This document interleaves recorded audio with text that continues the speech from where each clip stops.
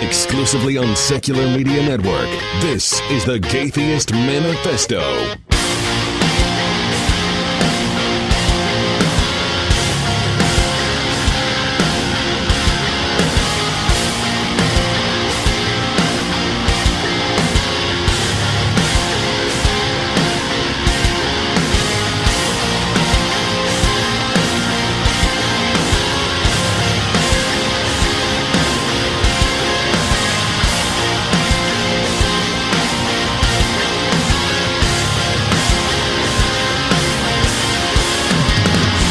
Hello and welcome to the Gaytheist Manifesto, your source for news, commentary, discussion, and debate at the intersection of the atheist movement and the LGBT rights movement. I am your host, Callie Wright, joined most of the time, as most of the time, by my co-host Ari Coleman. I have a crush on every boy. Oh my god, that's so good. And I'm Oh, so wasn't even very disappointed. good. Like my voice like broke halfway through. I'm so disappointed that there are so many people who aren't going to get the reference. Yeah, if Like, you don't, then just get out of my life. Yeah. Homestarrunner.com, that's all I'm going to say. It's actually homestarrunner.net. It's dot .com. Oh God. Okay. So this week we're gonna have uh, a super cool, uh, important discussion. Uh, this week I want to talk. I want to have a talk about how we choose to engage with people who disagree with us on basically anything. Obviously, the context of the show is you know LGBT and atheist stuff, so we'll talk about that. Um, but uh, but I, I think those things kind of go across the spectrum of things that can be disagreed disagreed upon. So um, our guest is Kile Jones. He is the founder of Interview an Atheist at Church Day. Kile, welcome to the show. Hi, how's it going? Good, good. So, um, tell me a little bit about Interview an Atheist at Church Day. Uh, you know where the idea came from, how you executed, how that whole thing works.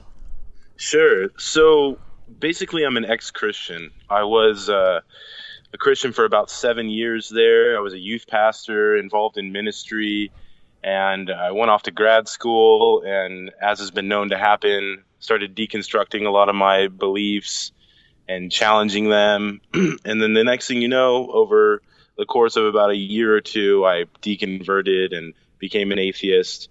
and I had these two eras of my life, right? Like this Christian Kile with all of his friends in ministry and all all of that, and then I had this new identity, a new community of non-believers, and I wanted to try to find a way to bridge the gap, not just the communication problems, but to try to find constructive ways for atheists and Christians to work together.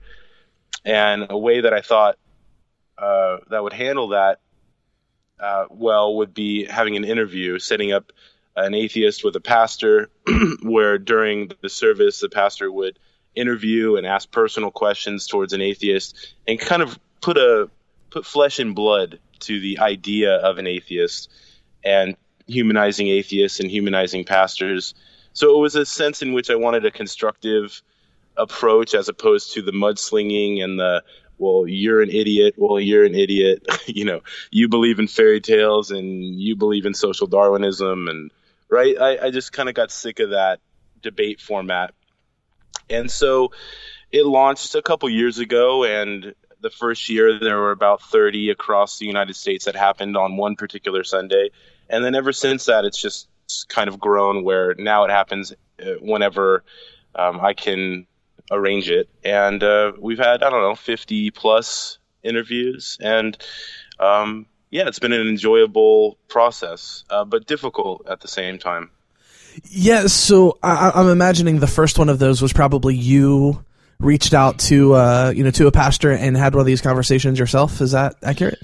No, no. I started by just facilitating and coordinating it. I had tons of friends that were pastors uh, from both. All of my degrees are in theology, so uh, I have lots of friends in in the ministry. And as an atheist, I was still friends with them, and I said, "Oh well, you know, I know this new atheist guy."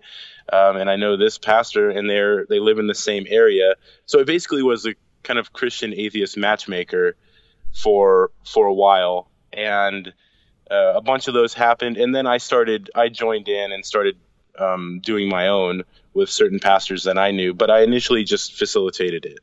Gotcha. So, so I mean, talk me through the first one. The first one of these that you did. It's got to be kind of an interesting thing. Like, do you jump into the like super conservative, um, you know, churches and like like cool, we're gonna mix it up and you know try and keep it civil, or do you try to go more towards like the liberal leaning churches, or how does that how does that work out?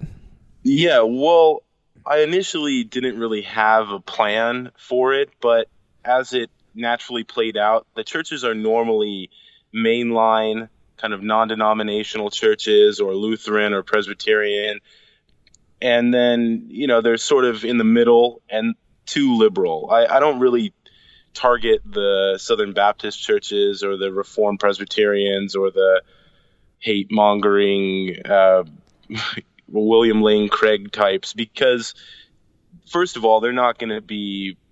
Uh, they're not going to want to humanize an atheist. They're not going to want to hear about their life experiences and uh, where they've come from and give them that benefit of the doubt. They're going to want to debate them. They're going to want to um, show that they're right and the atheist is wrong and all of that. And I don't want to. I didn't want it to divulge into that. So I didn't really go out targeting really conservative Christians, but some of them have been what we would generally consider conservative Christians, um, but just with a more open mind towards dialogue and having discussions with people they disagree with. So I've had a vetting process. So I've had to vet not only the pastors and the churches, um, but I've also had to vet the atheists because I didn't want to um, set up a really, really firebrand atheist who is going to go into a church and tell everybody that they're delusional and have a god virus in their brain and that. so I, Right. I've had to do it on both sides. Um, but that vetting process on the pastor's side, it's been, um, it's generally not taken a lot of force, right? It's kind of naturally happened that they're mainline to progressive. So the first time you did one of these, how did it go? Well, it went really well because I already knew um, a few of them. So I did this kind of U.S. tour thing where I went to five or six different churches across the U.S. and spoke there. And I had already known a few of them, right? I'd already met them. I sat down and had a drink with them, or um, we had known each other through other interfaith endeavors. So there was already a certain uh, foundation that was laid.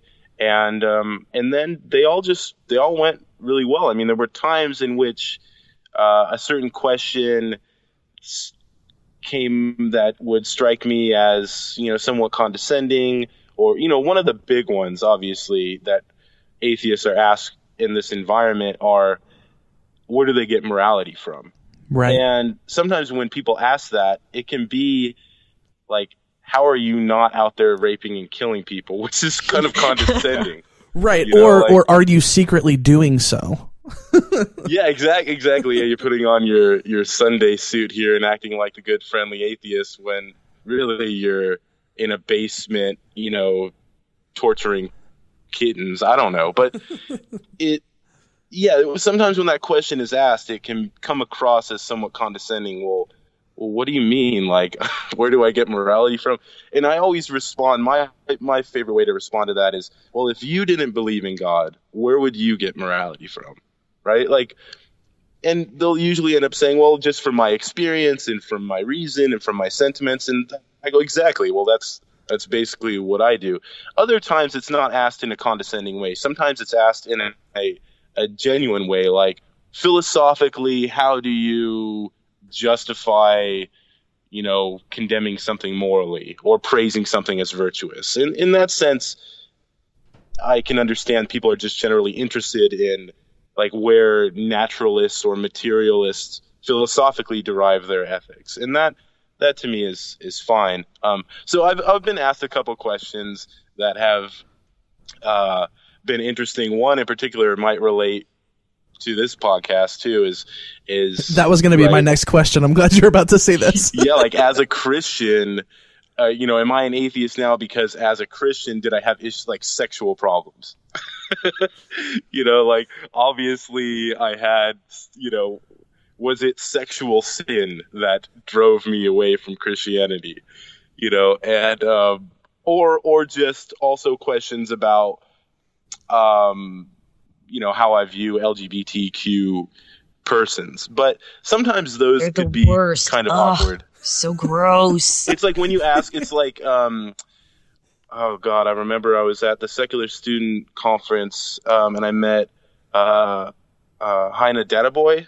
Yes, And I love she Heina, was- friend of the show. she- Heina. Yeah, she was talking about. Uh, she's awesome. She was talking about how she gets asked the most ridiculous things as like an ex-Muslim woman, like you know, have you had FGM done to you? And you know, so I feel like sometimes Christians will ask me, they'll they'll assume like there's some nefarious sexual issues that must have occurred um, to make me an atheist. Um, and I do think there is a sense in which that's partially the the strictures, the um, the black and white psychological splitting and guilt that comes across with a certain view of sexuality in Christianity, that can cause people to uh, change their views or abandon Christianity or their theology. And for me, that's a good thing, right? That's a maturing process. Um, but yeah, so the, sometimes you get asked funny questions. Well, I'm glad that's I'm glad that's the worst it's gotten. Um, well, at least in your experience, I'm sure you know across you know lots of other conversations. I'm sure some people have been asked some pretty ridiculous things. Um, so I think at, at the root of this, and, and the root of why I wanted to have this conversation. So for you, in your mind, what is the root of this sort of thing being so important to do? Like, why why have these these kinds of conversations? Yeah, it's I always when I get asked that, I always feel like a kind of a bit cliche and hallmark, but really, honestly, it's because we have to find ways to live together. Um, you know, we may have different social groups and um, environments that we find ourselves in that are not the same, that are very different, but we share this earth, right? We um, we vote in the same elections. We uh, there's all these things that we share, and all the way down to our basic humanity, which we share. So I feel like uh, there has to be some way to forge what I call strange connections, right? Like strange alliances that you wouldn't think would exist, but can actually exist. And a lot of that has to do with a certain type of pragmatism, right? Like there are atheists that I know that look down upon what I do as if somehow I'm um, condoning or approving You're an Um, enabler.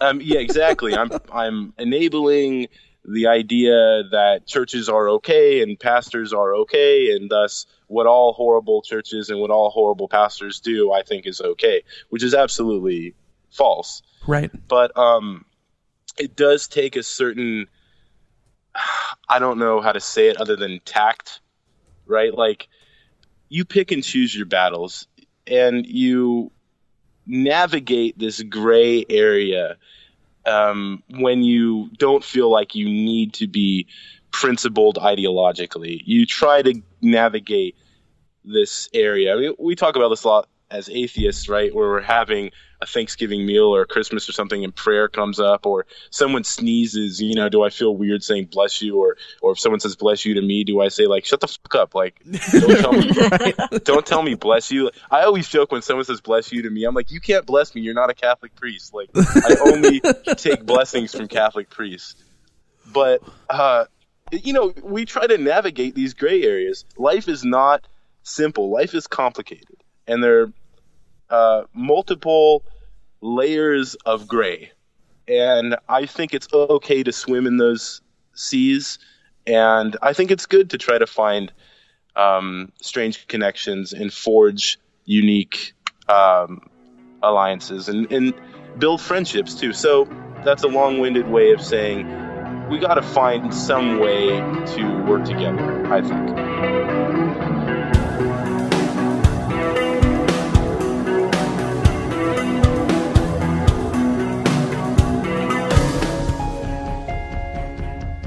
I've struggled with confidence throughout my life, and I've struggled with shame and internalized transphobia and internalized racism and internalized classism. And so I've, I have all that stuff, but there was something, something in me believed I had something special. Telling the truth to myself about myself is awesome because it's just a relief because I don't have to like try to be something I'm not. I can just be who you are authentically is all right. The shame is what kills you. Believing that you are unworthy of love and belonging, that who you are authentically is a sin or is wrong, is deadly. Who you are is beautiful and amazing. It's important with all of the messages that might tell you otherwise that you have that um, in yourself to say that I am beautiful, I'm smart, and I'm amazing.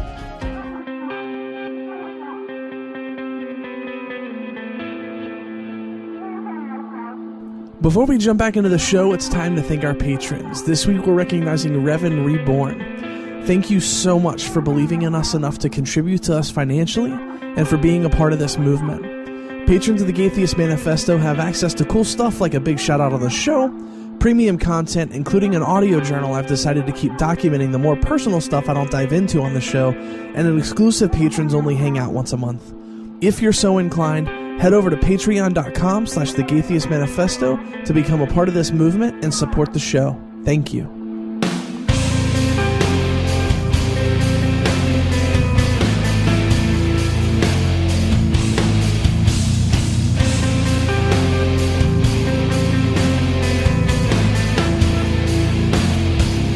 the thing that I struggle with, and I guess this kind of, I mean, this is kind of our segue into the conversation about about how we actually, you know, do these kinds of things.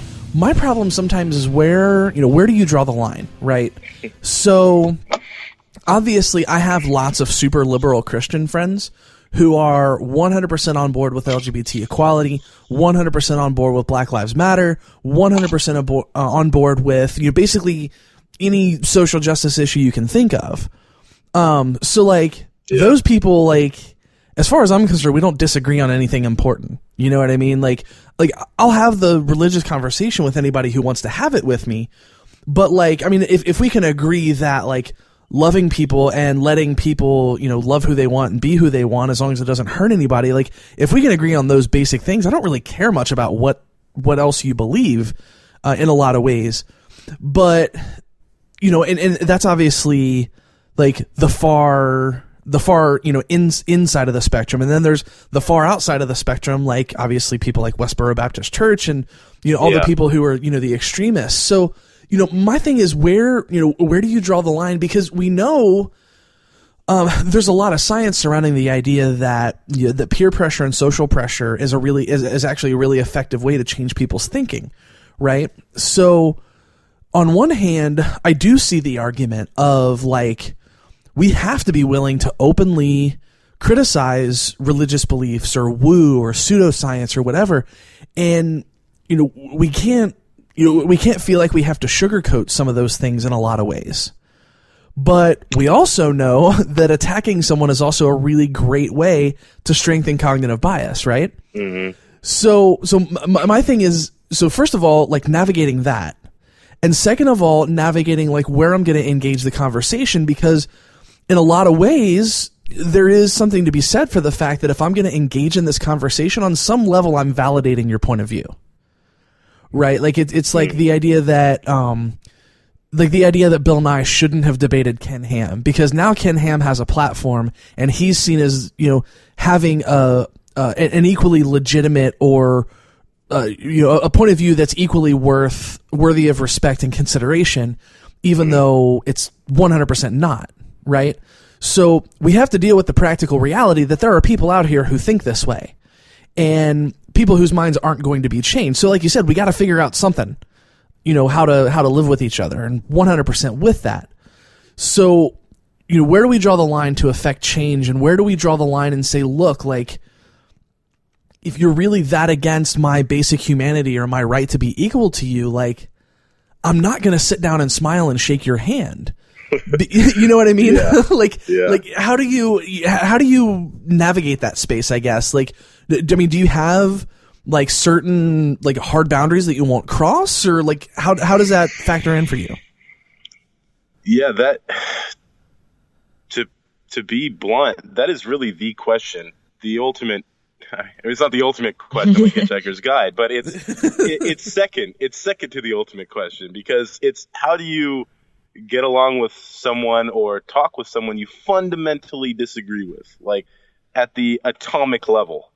You're like the fibers of your beings are at war with each other. Like this is the ultimate question, and it it's very tricky. Of course, I don't have any uh, clear answers. I think if anybody were to answer that question with like a two sentence spiel, it would be disingenuous. Like there, the whole point, like what I was saying earlier about how complicated life is, is that these lines are not clear. They're not.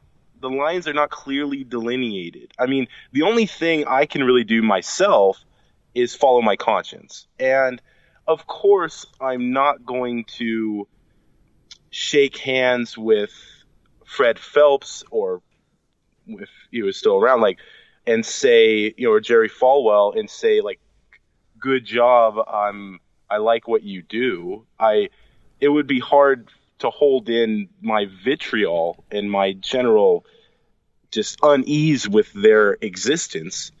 But Right. at the Your same, existence makes me uneasy. Ex- ex- exactly. It's your existence bugs me. Like the fact that you are here, eh, I'm bothered by. But at the same time, if somebody were to, um, and this is this gets a little tricky and muddled here. If somebody, if if some atheist, for instance, this is a stupid, um, could be a false hypothetical scenario, but forget it. Atheist, agnostic, Buddhist, Christian.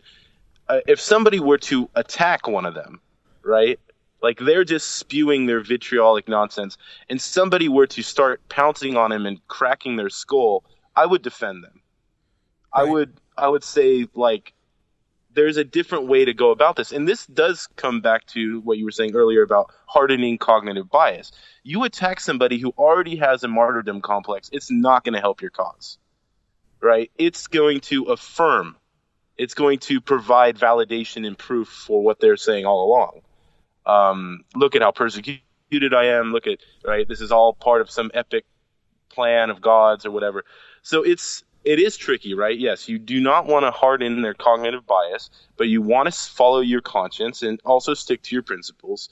And to do so is tumultuous. It's for me this whole process of being an atheist who does interfaith is it's a difficult thing. It's not I live with a lot of unease because it's not it's not easy.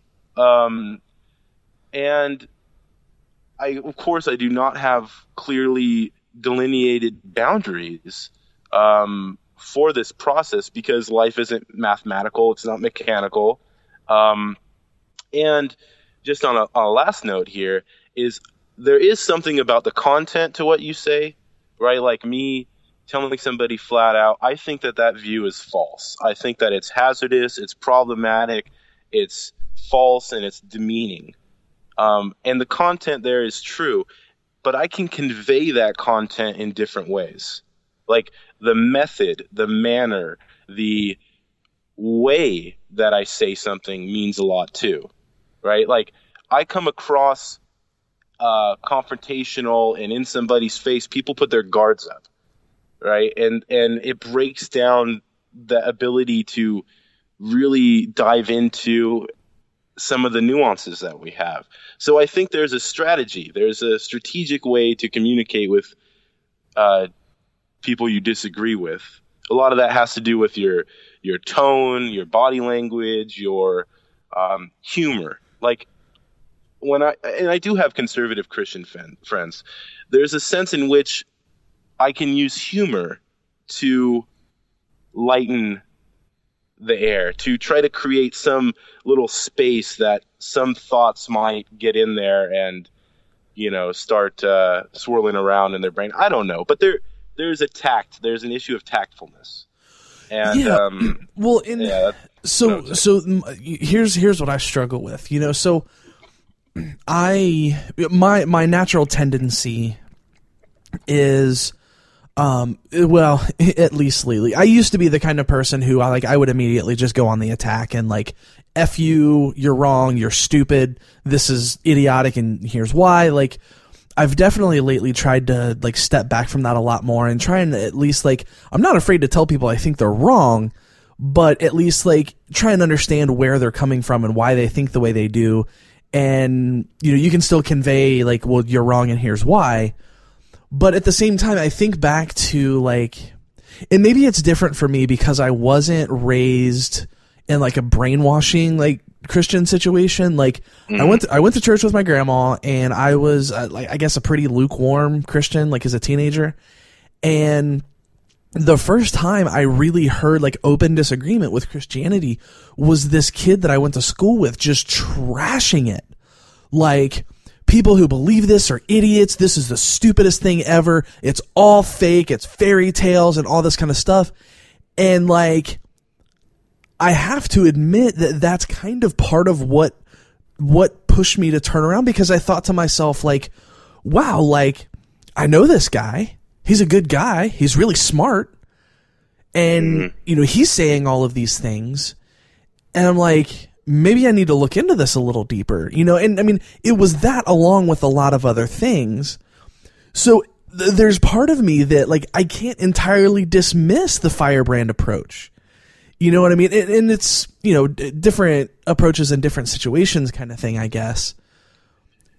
Yeah, I I I can totally understand that, and I think that, it, it, of course, it's not a one size fits all um, the issue we're discussing here, right? Like you were saying, context and situating it, it's different. You know, when I uh, the way I approach some firebrand preacher on the corner is going to be different than the way I approach my old sweet conservative grandmother you know, I- Right. it's just gonna gonna be a different approach there. But there is absolutely a space and a role and positive contributions for people like David Silverman, who I, in my view, has a lot of things wrong with his approach. But am I going to say that everybody has to follow my, you know, jovial, lighthearted, interfaith atheist thing? No. Like that's that's just me and it's okay that somebody else is not doing what I do. And this is it. This is fundamentally what I would want to touch on is being all right with people not being like you. That I think is one of the hardest things for all of us to come to grips with. The fact that not everybody is going to think the way I think, the fact that people might never, ever be like me. And to be okay with that is very difficult because it's a natural inclination to want others to think like you. That, right, that's just kind of normal. We're social animals and we want our groups and we also hate being wrong. We want to be right. It gives us a sense of purpose, a sense of dignity, a sense of um, confidence to be sure of ourselves. And we want other people to validate that. Um, but I remember thinking a while ago, what what there's lots of atheists out there who have this um, I would say utopic view of secularism, right? With the advent of the intelligent, autonomous uh, person, religion will dwindle and atheism will will rise, and eventually the world will be full of rational atheist thinkers, and it'll be peaceful, and all of this, um, which I reject that view. I reject that assumption Yeah. Me too. um, my and what what I did was think about the opposite. What if my navigating assumption? What if my initial assumption is that religion is never going to go away, that Christianity is never going to fade away, that that conservative fire and brimstone hate monger is never going to go away. What do I do with myself in the meantime? Like so. Cry in the corner. Yeah, it's, it's sad. To be honest with you, there is a sense in which it's tragic. It's tragic that um, it may be the case that there's always going to be horrible asshole people like that that sucks but um, my question is if we just assume from the get-go that religion is not going anywhere. That christianity is not going anywhere. What do we do in light of that? What do we do in spite of that? And that it, it's difficult right? It, it comes down to a kind of pragmatic way of acting in the world that doesn't assume that um, these things are just going to go away one day. Yeah, I, I, definitely think there's something to be said for that. I just, I, I, feel like I'm always, and I mean, this is like you said, it's tumultuous. You know, like I feel like I'm always kind of fighting a battle inside myself because the the way that I end up seeing conversations a lot of times is so like, you know, I I'm pretty active in my local trans community and I see people, I am not one of these people, but I see people who are in the worst of worst positions. You know, they're on the edge of homelessness, on the edge of starvation. Mm. They can't find a job. They can't find health care, all of this kind of stuff, right? And these people already think that no one cares about them, right? And the people who are in a position to do something about it are the people who are people of privilege, you know, people who are rich or, you know, don't have those kinds of day to day worries, you know. So, on the one hand, the people who are in those awful positions, they need to see someone fighting for them and fighting for them hard, right? Because it, you know, it's it's like a morale thing. But yes. on a practical level, if I want to get anything done, I can't just come at those people like uh you know like a, like a Mack truck like like look asshole you're gonna listen to what I'm gonna have to say like you know what I mean? It, it's it's a really tough line to walk sometimes, and um, yeah, I don't. absolutely, it, like absolutely, and that, and I also exactly when it, I felt that way. I felt something inside of me when I just spoke, like the other side of my my thoughts going. You know, there is a time for anger Yes, there, is there absolutely for, is.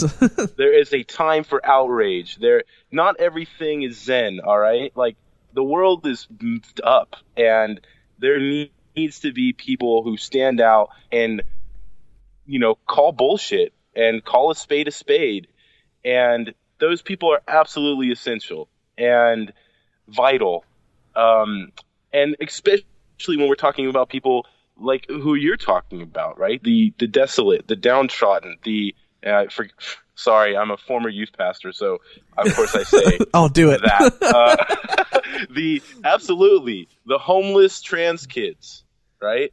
The the druggie, the person who has fallen through the cracks of contemporary society, who cannot find any solace, who has been abandoned by their family, who has been um, just destroyed inside and out. And there does need to be someone championing these people who advocate for them, who fight for them, who scream for them, because sometimes privilege is deaf. And, you know, you need a megaphone to shake people. Um, so when I talk about all this pragmatism and this gray area and this, there's also a side of me that's like, well, sometimes that you need to scream, and um, and so I totally applaud people who do that, who who stick up for the marginalized and the oppressed. Um, but and once again, it's situational. As much as I would love to say it, you should be one way or the other. It's I can't. Right? I would be I would be doing a disservice to myself if I said you should always act in this gray pragmatic way or you should always act in this principled black and white way it's it's both and that's really another crappy facet of existence is that there aren't there aren't easy answers to these questions and when somebody provides these easy answers i instantly am skeptical of them like yeah right all the all the manuals out there on how people should live their lives it's like I'm done with the manuals. I don't need another book or instruction on how I should behave because life is just too complicated for that. Yeah, you know, and I think one idea that I'd really, really love to get a, to to just completely get rid of is the idea that being pragmatic means that you aren't principled. Yeah. Um, you know, I, I, because I, my new thing uh, arguing on Facebook nowadays is the whole, um, you know, Bernie or bust mentality. Like, if Bernie Yeah, doesn't I win, that. the- yeah, like, like if Bernie doesn't win, let's burn the country down. You know what I mean? She posted like six statuses about this today. It's Super Tuesday when we're recording this. yeah, exactly. um, but like people are talking about like, well, I'm standing on my principles, blah blah blah, and I'm like, well, you know what, like, like okay, and like if we're gonna have this discussion, let's have this discussion. But I'm not going to accept the argument from you that I'm not standing on principle. You know, my my principle is do the least harm, right? Yeah. and and I think that's I mean you know when we're talking more broadly about you know these kinds of conversations I think there I, I mean I, I think there is kind of that idea. It's it's kind of the age old like compromise is death kind of thing right? Like mm. if if you're willing to engage the other side in any way shape or form then you're compromising your principles. You know as opposed to the idea that like well you know what? Like maybe maybe interacting with other people and getting to know them understanding where they're coming from and opening that dialogue maybe that's the principle that i'm standing on because i think that's important. Um and, and i don't think there's i don't think there's enough of that you know? I mean you, like you said i mean there's definitely a line to be drawn right? Like if if somebody looks me in the face and says i'm going to vote against you being equal in society i'm probably not going to have a friendly and cordial dialogue with that person. You know what i mean? I mean uh, basic human respect obviously is afforded to anyone. You know what i mean? But i'm going to look that person right in the eye- right back in the eye and say how can you call yourself a compassionate human being? You know what i mean? You you you very obviously just don't care. You know? Yes. and i mean and, and you know you have to be real with those things. And i think you know they're so uh, th- this kind of leads into another thing that that kind of comes up in, in a lot of in a lot of conversations is the idea of like you know as soon as someone says that they're off put by something you say that like oh you're the PC police you're a coddled spoiled child blah blah blah. And um you know to me I don't understand why it's a bad thing first of all to take someone else's feelings into account when you're talking with them even if you disagree with them you know and you can draw a line and say like look okay say for example we're going to disagree on the theory of evolution right? And i'm going to tell you that if you're a creationist you're wrong. The evidence is against you. There is no evidence for your point of view and the people who push this stuff are like known liars and uh, and, and they're pushing pseudoscience right? Yeah. Those things are all 100% factual. And nowhere in there did I actually make a character judgment on the person who holds those beliefs, right? If that person then comes to me and says, well, that offends me and that hurts my feelings, at that point, I'm like, sorry, I don't care. I didn't make a judgment about your character. I just said this thing that you believe is wrong.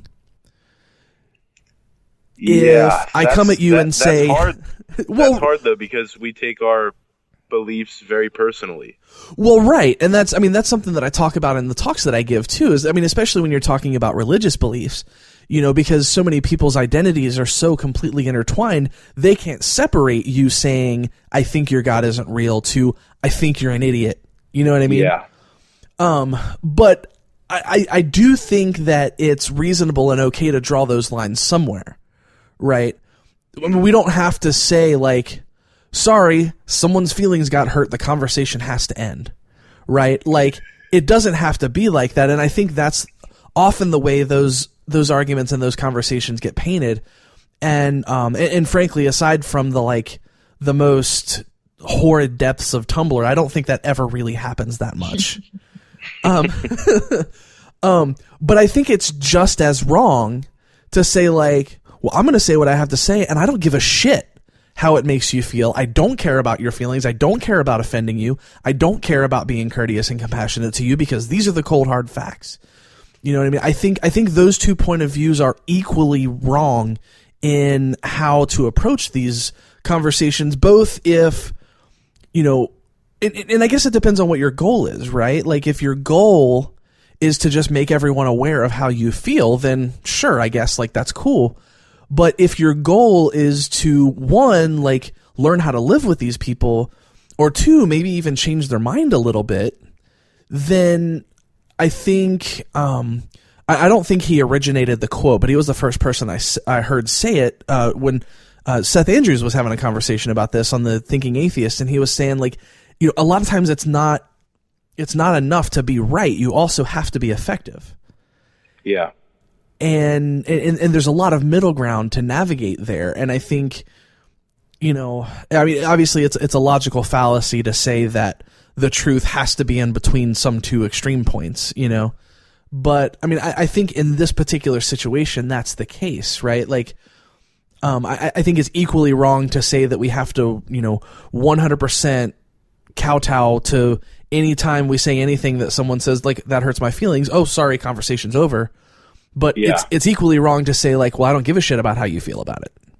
You know? Absolutely, absolutely. And finding where you place yourself in that spectrum is difficult, um, because there are other times where you feel it necessary to um, put somebody's feelings uh, on the side, right? Like there are times I feel like totally justify um, hurting somebody's feelings. There are there are situations in which there are other worries, there are other issues that outweigh the immediate displeasure one person might feel. Um, now, I, I'm I'm certainly not saying physical violence, but uh, you know, emotionally bothering somebody can be outweighed by lots of other things. Um, but at the same time, my my big problem here as this kind of uh, atheist in this gray area that's usually thought of as kind of um, I don't know wishy washy or too nice or too cordial towards religious persons is that what scares me what scares me more are radical ideologues that care more about ideas and being right than they do about people. Oh God, thank you. and that that to me that to me bothers me more because there's a certain fascism there's a certain totalitarian mindset that ideas and correct justified beliefs are what matter most in life. It matters more to be right than to be good. And that is one of the biggest problems that i see in contemporary atheism. It's I feel like if you had to pick one, not that you need to pick being right or being good, but for sake, if you have to pick one, pick being good. Like well, right, and and I think you know going back to what- you know what I said before. I mean, I also think the idea that you have to pick one or the other is false. I think you can absolutely, absolutely. I I I think it's a false dichotomy. But sometimes you are in that situation where you you do actually have to make some sort of a decision. Do I really do I go full force? Do I apply the pressure or do I ease off the gas a little bit?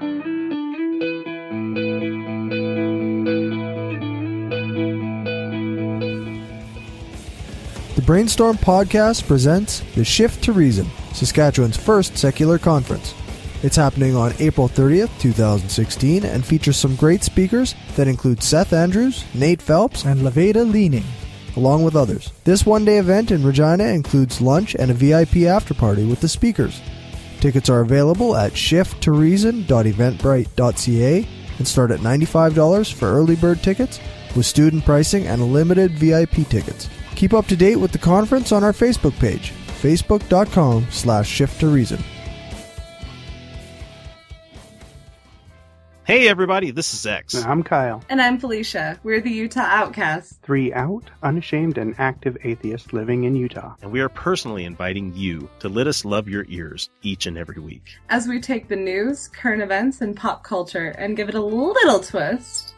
A love twist with consent. And we'll be joined each week by a special guest to tell us what makes them an outcast like us. Come find us. The Utah Outcasts. On podhell.com, Stitcher, iTunes, Google Play, Facebook, Twitter, and YouTube. and on UtahOutcast.com. We finally bought that domain off the kids handing out mixtapes in the mall. Come be an outcast with us. Take care of yourselves out there. Bonne nuit. And you're welcome.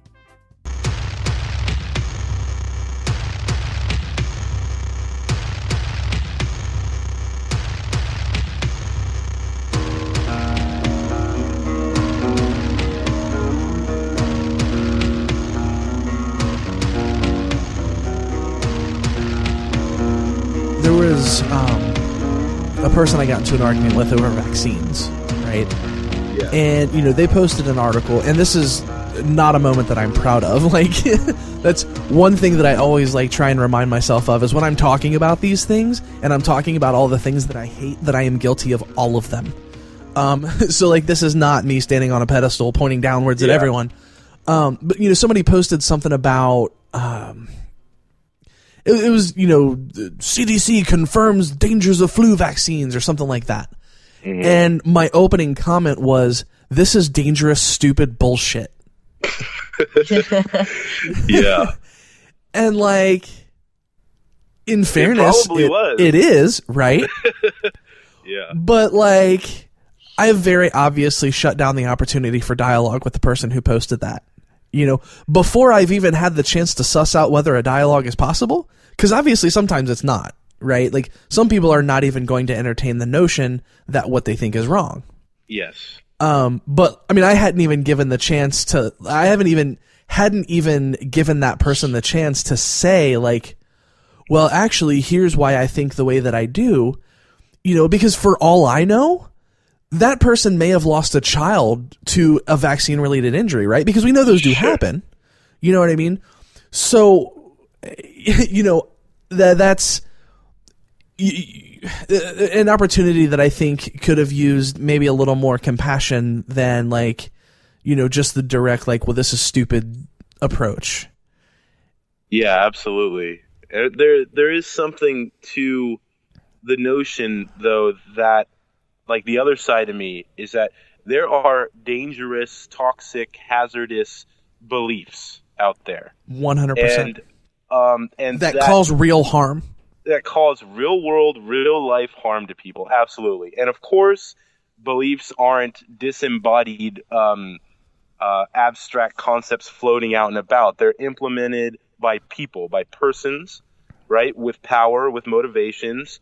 And, um, but at the same time, you, you always hear this criticism well, beliefs aren't either bad or good. How they're applied is bad or good, which is which is false, right? The belief, what I don't care how you apply it, but the belief that Jews are or black people are three fifths of a human being is is that belief in itself. I don't care what you how you implement it. I mean, I do, but of its own, that belief is hazardous Right. right? I can't imagine somebody believing that and treating Jews or black people better because of it. Like there, it's it boggles the mind to even think that. So there are beliefs kind of in themselves that are hazardous. I don't care who holds them or not.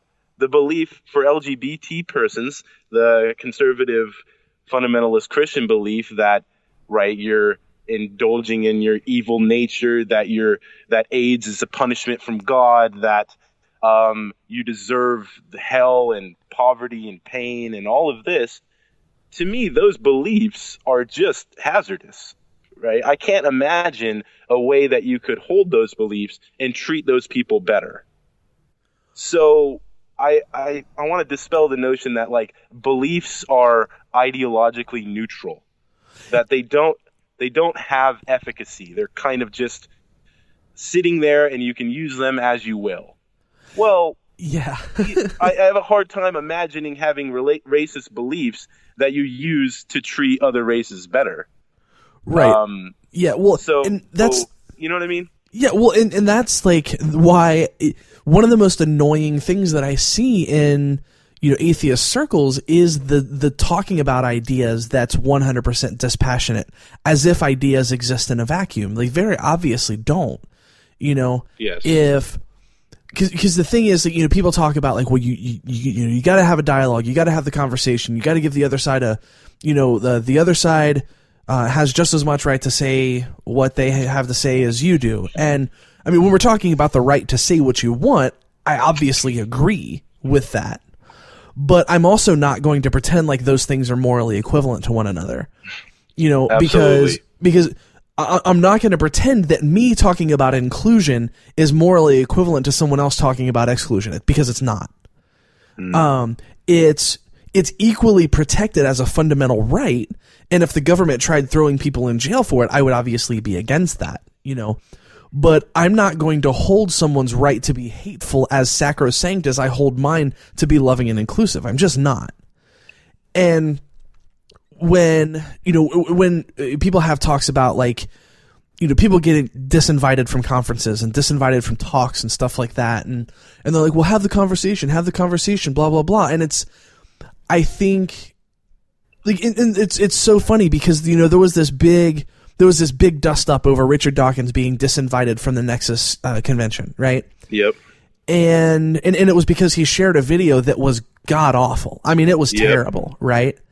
And like, okay, like maybe to his credit, he realized what he did and took it down later, you know. But this is also the guy that, if memory serves, refuses to debate creationists because he doesn't want to legitimize their point of view, right? Yep.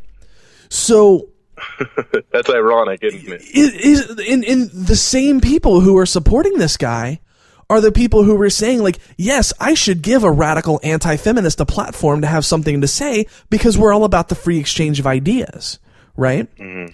And i just i just don't accept that. You know what i mean? I mean i accept your right to say whatever but i don't accept that i have a moral obligation to treat every viewpoint as equal because i don't and i'm not going to. Absolutely, absolutely. That would be a pretend pluralism. Like it, it's not.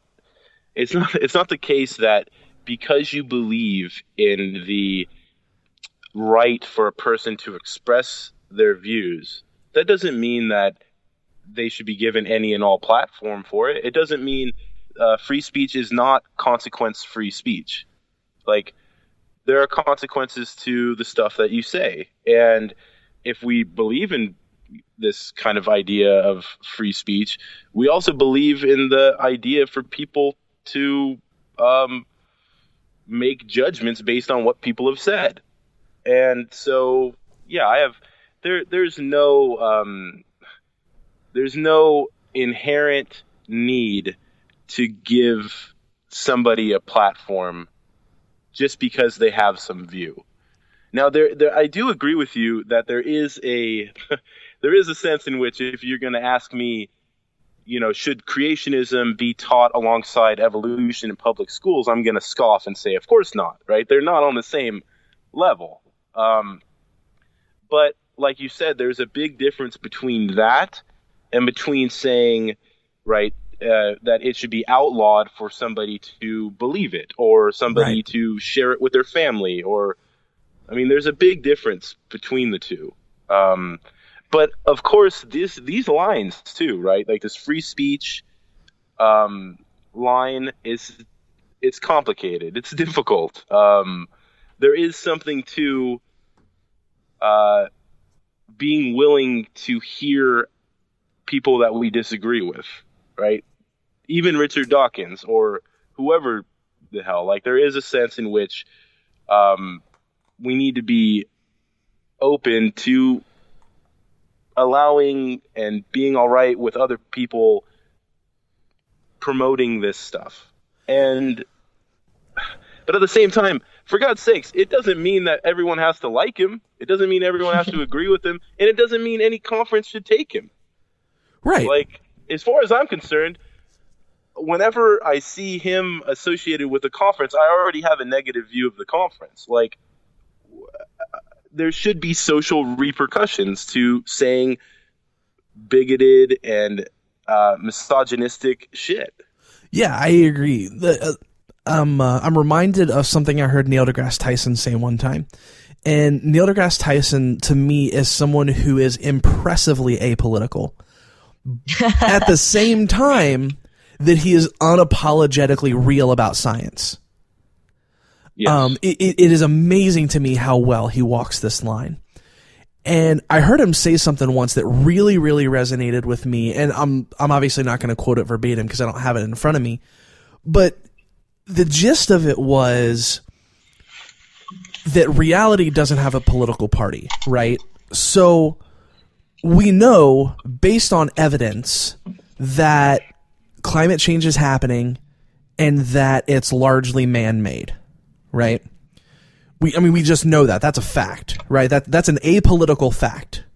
Now you can have a conservative view of how to deal with that reality and a liberal view of how to deal with that reality.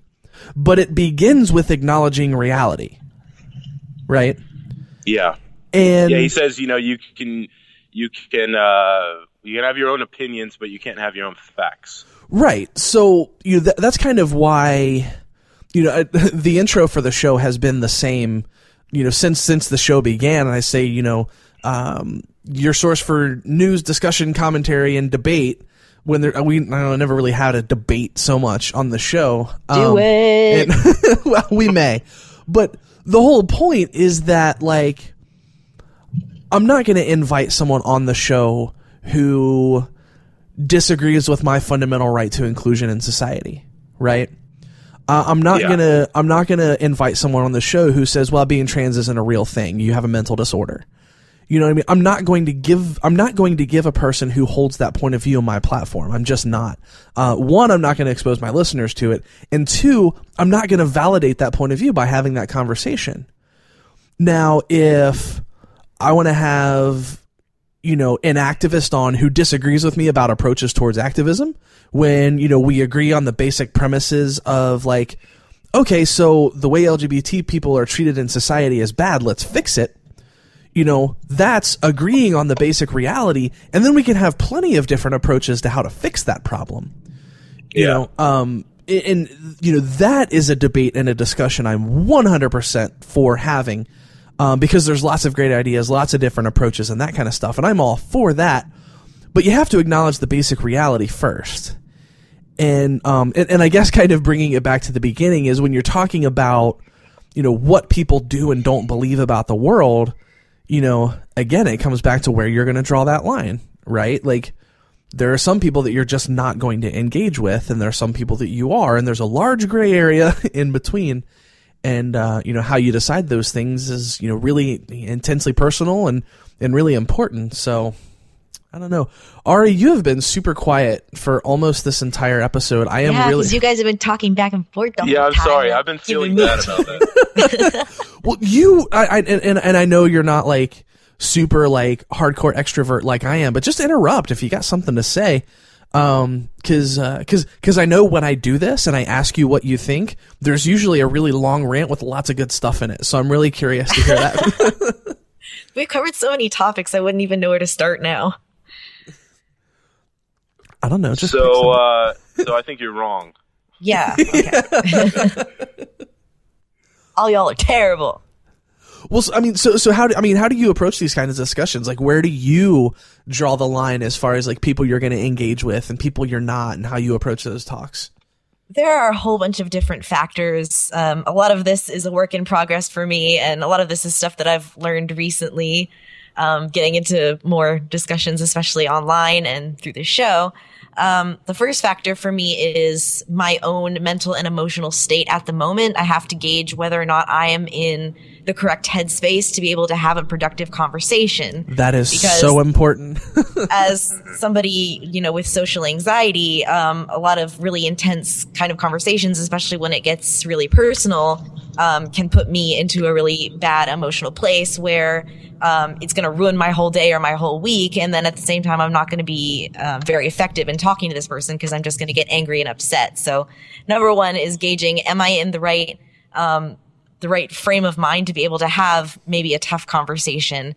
And if I'm not, then I have to kind of make the decision um, whether or not I'm going to bow out and maybe let someone else handle this situation. Um, number two, in the same vein, is um, my gauging of that person, do I think that they are going to be receptive, which is something that we've talked about, um, you know, earlier in this conversation. Not everyone is, even if you're the politest, most, um, you know, clear headed, rational person, just laying out the facts and being very kind of mousy about it. There are plenty of people out there that aren't really interested in having a conversation at all. They know they're right. They know you're wrong and you're stupid and you're terrible and nothing that you say is going to convince them at all. So if that's the case, um, you know, it, it kind of depends also in that case because even if you're not going to convince that person, um, there's an ar- there's a an argument, especially um, that I've heard a lot with um, prominent atheist debaters like Matt Dillahunty. A lot of times he's not even debating the person to try and change their mind because he pretty much knows from the get go that that's not going to happen. He's debating the person to expose how ridiculous their views are and in turn just kind of demonstrate that to the audience like this is this kind of person can't be reasoned with so why would you want to you know be on the side of somebody who's not going to listen to anything and they just know that they're right so it kind of depends on whether my goal is to try and convince that person or at least get them to see my point of view or whether it's more for the people listening.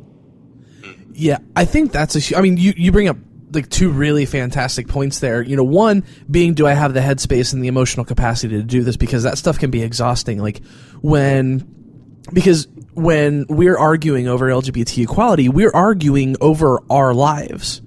You know what I mean? Right. It, it goes back to the idea that these aren't abstract ideas. You know, I'm I'm literally talking to you about the quality of my life and how I am able to navigate society. You know, so it, it, it it's not just like you know debating you know heady philosophy stuff. You know, um, and yeah, then- like this is personal stuff. Like you're basically telling me that I'm a terrible person and I deserve to die and all this all this kind of thing. So it's not very easy to be objective when somebody is making things personal and abusive in that kind of way. and the audience too. I think that is so huge because um, another idea. I mean, speaking of like, I've brought up you know a couple ideas here that I would love to just get rid of is the idea that these conversations aren't effective. Um, you know, we can you know we, we can question why we would want to do it or any of that kind of stuff. But I think we can probably put completely to rest the notion that these conversations are futile in uh, in, in a lot of conversa- in, in a lot of contexts. You know, I mean, I mean, I, I can, I mean, I after after the uh, the episode that we put out last week, um, I mean, I got lots of feedback from people who were like, you know what, like. I'm ready to hold my nose and vote for Hillary now because I never thought of it that way before. and um, you know, so like, I, I would I would love to just do away with the idea that these conversations and these dialogues aren't effective because they they most certainly are. I mean, I mean, talk to, I mean, you you hear them talk about it on the atheist experience all the time, like.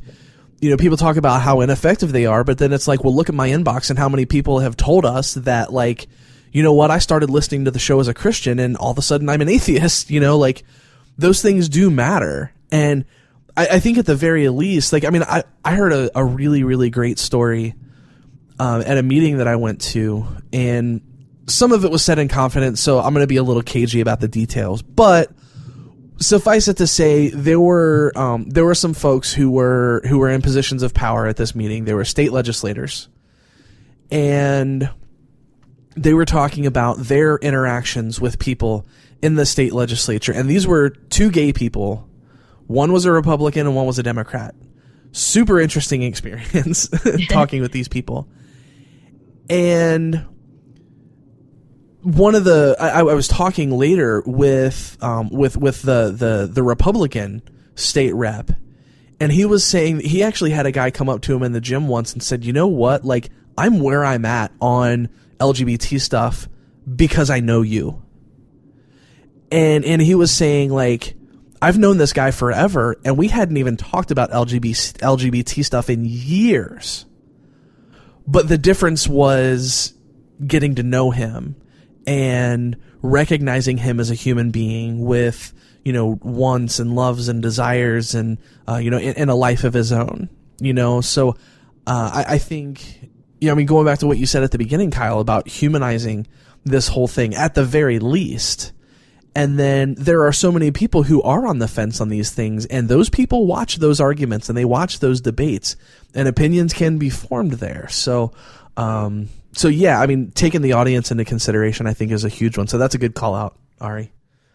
Shanks. did you have Did you have any other thoughts?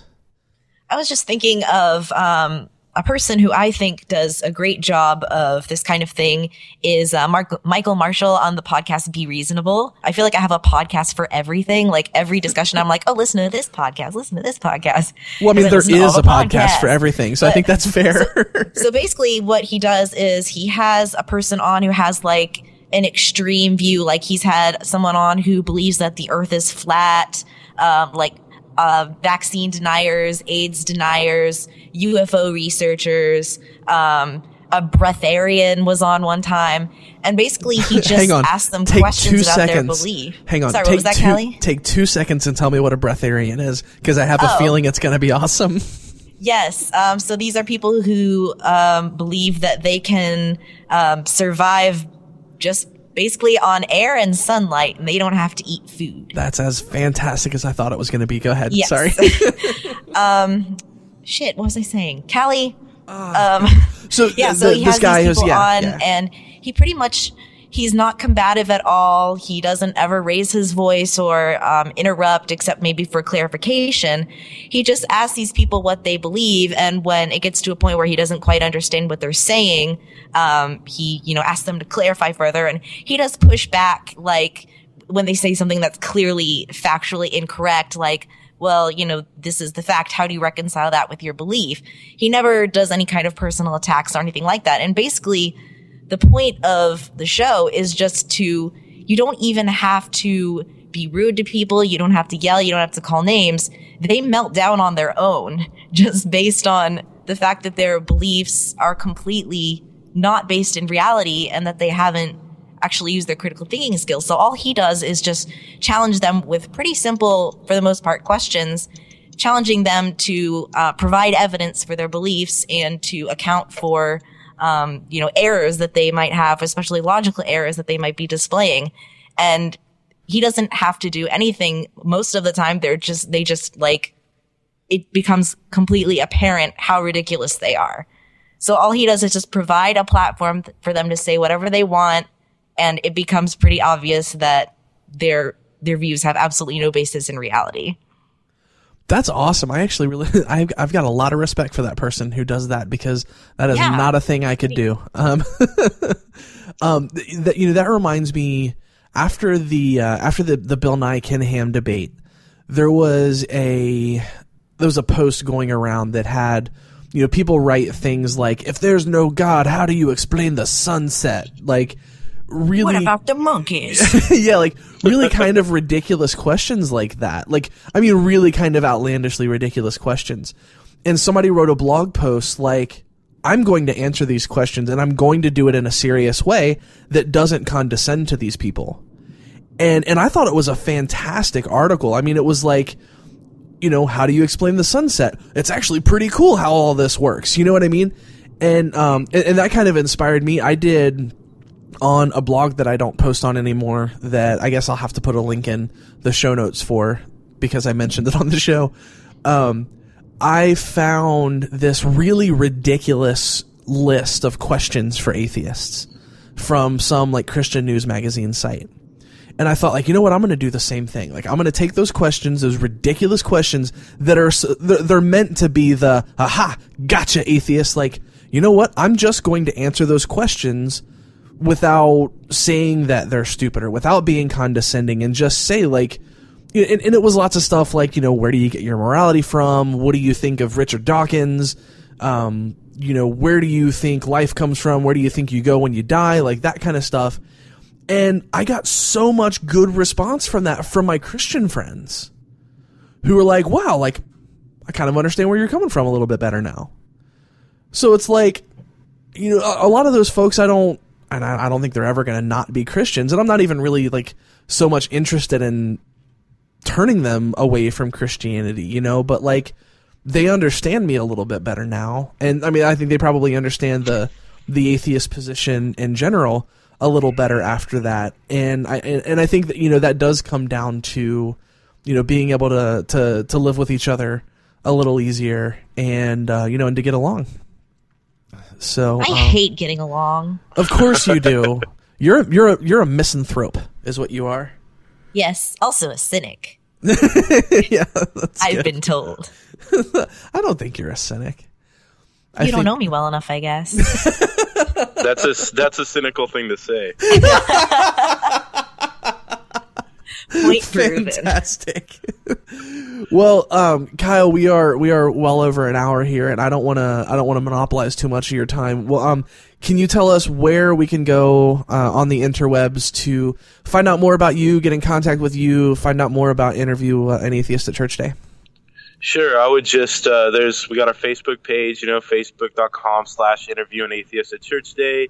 There's uh, interview atheist uh, dot wordpress.com. That's the website. You can just Google interview an atheist at church day or YouTube it because we got a bunch of videos up there. Um, I also blog. I also blog for um, a site called Feminism and Religion uh, that you can check out. Um, so yeah, no, thank you so much for having me on, and I love your show, and I'm. Um, it was been really great talking to you guys. Thank you so much for coming, and it's uh, th- this has been a really good conversation. I think it's um, I love exploring gray areas because that's that's where the world exists. Um, and before we jump off completely, I would like to announce that there is a new Pathos blog called "Removing the Fig Leaf," which is really really awesome. I'll put a link to it in the show notes, and basically it's a blog about sex and sexuality post theism.